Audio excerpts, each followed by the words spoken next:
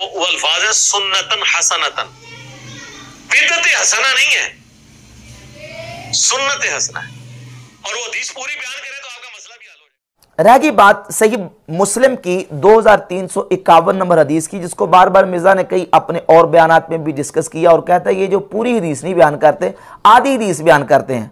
और वो दो हज़ार तीन सौ इक्यावन नंबर सही मुस्लिम की हदीस ये है कि नबी पाक सल्लल्लाहु अलैहि वसल्लम ने साहबा कराम रदी अल्लाह तुम को एक मौके पर सदका करने की तरगीब इरशाद फरमाई।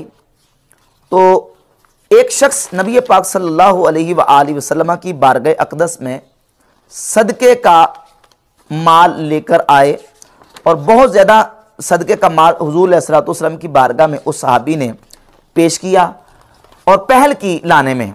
तो नबी पाक सल्लल्लाहु अलैहि वसल्लम ने उस मौके पर इरशाद फरमाया मन सन्न फिल इस्लामी सुन्नतन हसनतन फ़लहु अजरुहा व अजरु मन आमिला बिहा मिन गैर अयन कुसा मिन उजूर शई जिसने इस्लाम में किसी अच्छे तरीके को ईजाद किया तो उसके लिए उसका अजर है और क़्यामत तक जितने लोग उस अच्छे तरीके पर अमल करेंगे, उन तमाम लोगों के अमल का सवाब भी इसको मिलेगा और उनके सवाब में कुछ कमी ना की जाएगी। वमन सन्ना फिल इस्लाम में सुन्नतन सयातन काना अलही विजरोहा। जिसने इस्लाम में किसी बुरे तरीके को ईजाद किया तो उस पर उसका गुना होगा और जितने लोग क्यामत तक उस पर अमल करेंगे, उनको गुना भी होगा और उन तमाम का गुना इस बुरा तरीका ईजाद करने वाले के खाते में डाला जाएगा। यह हदीस है। ये पूरी हदीस है। अब कहते हैं ये आधी हदीस बयान करते हैं, सिर्फ़ मन सन्ना फिल इस्लाम सुनतन हसनतन का लफज बोलते हैं और पिछला उसका वाक्य बयान नहीं करते। हालाँकि उसमें पीछे वाक्य ये कि नबी करीम सलाम की बारगाह दस में साहबी ने सदके का माल जमा करवाने में पहल की थी। तो लिहाजा वहाँ किसी साहबी ने कोई जो ना वो बिदत तरीका याद नहीं किया था, अच्छी बिदत याद नहीं की थी। तो उसका जवाब यह है कि देखें, एक होता है वाक्य खास और हुक्म आम। और उसूल यह है कि इन अमल इबरत बेमूमिल अल्फाज ला खसूस सबब ला खसूस वाकया। हुक्म जो है वो एतबार होता है अमूमी अल्फाज का, ना के खास वाक्य का और ना खास सबब का। बाज़ नबी पाक सल्लल्लाहु अलैहि वसल्लम एक खास मौके पर एक शरीयत का आम हुक्म बयान कर देते हैं। और उस आम हुक्म को देखा जाता है, उस खास वाक्य को सिर्फ़ जो ना वो बेस बुनियाद बना के उस हुक्म की उमूमियत से इनकार नहीं किया जा सकता। उसकी दलील इस हदीस के अंदर मौजूद है। अगर किसी साहबी ने अच्छी बिदत वहाँ याद नहीं की थी तो क्या वहाँ किसी ने को बुरा तरीका याद किया था? नहीं। तो फिर नबी करीम अलैहिस्सलाम ने ये जो लफ्ज इरशाद फरमाया है कि मन सन्ना फिल इस्लाम सुन्नतन सैतन काना आले ही बिजरुहा जिसने इस्लाम में किसी बुरे तरीके को ईजाद किया, उस पर उसका गुना होगा। सहाबी ने वहाँ कोई बुरा तरीका ईजाद किया था? नहीं। जब किसी सहाबी ने उस मकाम पे कोई बुरा तरीका ईजाद नहीं किया तो नबी करीम सलाम ने ये जो उस मौके पर फरमाया है, ये इस बात की वाद बैन दलील है कि नबी पाक सलाम ने उस खास मौके पर एक शरीयत का अमूमी कायदा और जबता बयान फरमा दिया कि जिसने अच्छा तरीका ईजाद किया, उसको उसका स्वाब मिलेगा और जिसने बुरा तरीका ईजाद किया, उस पर उसका गुना होगा। और यहाँ यह बात भी याद रहे कि यहाँ जो लफ्स है, वो है सन्ना मन सन्ना फिल इस्लाम में सुन्नतन हसनतन। और ये जो सन्ना या सुन्नू है, इसका माना लुगत अरब और सही बुखारी मुस्लिम की हदीस तयबात के मुताबिक समझने की ज़रूरत है। सन्ना बमाना औजदा, अहदसा और इबतदा। यानी सन्ना का माना है, जिसने किसी काम को पैदा किया जिसने किसी काम को ईजाद किया और जिसने किसी काम की इब्तदा की, सन्ना इब्तदा करने के, ईजाद करने के और पैदा करने के माना में आता है। सन्ना की मिसाल सही बुखारी से सुने, तीन हज़ार तीन सौ पचासी नंबर हदीस है।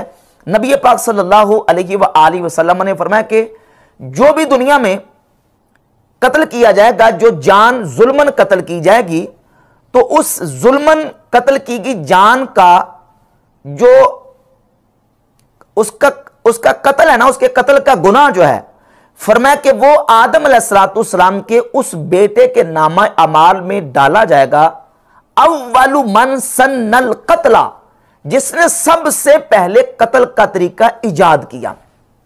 यहाँ पहले से कोई कत्ल का तरीका मौजूद नहीं था कि जिसको राइज कर दिया, बल्कि कत्ल के तरीके की इब्तदा की, आगाज़ किया है काबिल ने जो कि आदम सलाम के बेटे थे। तो फरमाया कि जिसने कत्ल का तरीका ईजाद किया, सबसे पहले कत्ल का तरीका शुरू किया तो जितने कत्ल दुनिया में होंगे, उन तमाम कत्ल का जो गुना है, वो आदम सलाम के बेटे काबिल के नामाए माल में उसका गुना डाला जाएगा। अव्वल मन सन्नल कतला, जिसने सबसे पहले कत्ल का तरीका इजाद किया।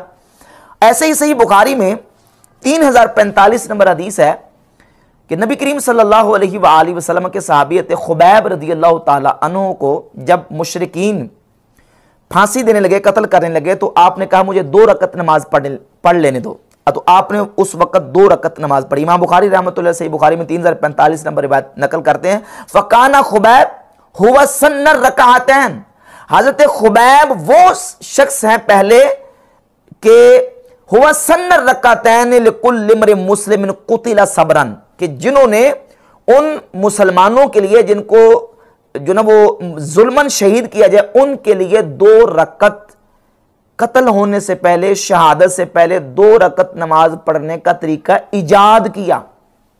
सन्नर रकातैन, दो रकत पढ़ने का तरीका इजाद किया। तीसरी हदीस सुन्या भी दो में पाँच सौ छह नंबर है, कहते सैदना मुआज इबन जबल रदी अल्लाह तु मस्जिद में नमाज़ पढ़ने के लिए नबी पाक सल्लल्लाहु अलैहि वसल्लम ने नमाज़ कुछ रखते हुजूर ने पढ़ा दी थी। ये बाद में आए इन्होंने हुजूर के सलाम फेरने के बाद जो रखते रहती थी, उनको खड़े होकर अदा किया। तो नबी करीम सलाम ने देखा और देख के साहब कराम से फरमाया कि कद सन लको फहा कजा फ़ालू मुआज ने तुम्हारे लिए एक तरीका ईजाद कर दिया है, जिस तरह मुआज ने किया, तुम इसी तरीके से किया करो। यहाँ भी सन्ना जो है, वो औजदा और अहदसा और इब्तदा के माना में इस्तेमाल हुआ है। दो हज़ार तीन सौ इक्यावन नंबर जो हदीस है, उसको देखें, उसमें लफ्ज उमूमी कायदा जबता है, मन सन्ना फिल इस्लाम में सुन्नतन हसनतन जिसने इस्लाम में कोई अच्छा तरीका ईजाद किया तो उसके लिए उसका अजर है, सवाब है। वमन सन्ना फिल इस्लाम सुन्नतन सैतन और जिसने कोई बुरा तरीका ईजाद किया, कान आले ही विजरोहा उस पर उसका गुना है। यहाँ लफ्ज जो इस्तेमाल हुआ है मन सन्ना में सुन्नतन हसनतन सुन्नतन हसनतन। यहाँ सुन्नत से मुराद सुन्नत नबवी नहीं है। यहाँ सुन्नत से मुराद तरीका है। और यहाँ मिर्ज़ा कहता है कि वो जो सुन्नत हसना है, बिदत हसना नहीं है। तो सुन्नत हसना का क्या माना लेंगे? सुन्नत रसूल मुराद लेंगे। क्या नौज बिल्ला यहाँ सुन्नत रसूल मुराद है? क्या हजूर की सुन्नत अच्छी भी होती है और बुरी भी होती है नौज बिल्ला वहाँ तो लफ्ज मान सन्ना फिल इस्लाम में सुन्नतन हसना। व सुन्नतन सैया। जिसने इस्लाम में कोई अच्छा तरीका ईजाद किया या इस्लाम में कोई बुरा तरीका ईजाद किया? सुन्नतन हसना, सुन्नतन सैया। अगर सुन्नत रसूल यहाँ मुराद लें नौज बिल्ला तो क्या रसूलुल्लाह की कुछ सुन्नतें अच्छी और कुछ बुरी है नौज बिल्ला ताला? ये मुराद ही नहीं है। मुराद यहाँ मुतलकन तरीका है। तो जो भी तरीका अच्छा होगा, वो अच्छा नया तरीका ईजाद करेंगे तो वो बिदत हसना में आएगा।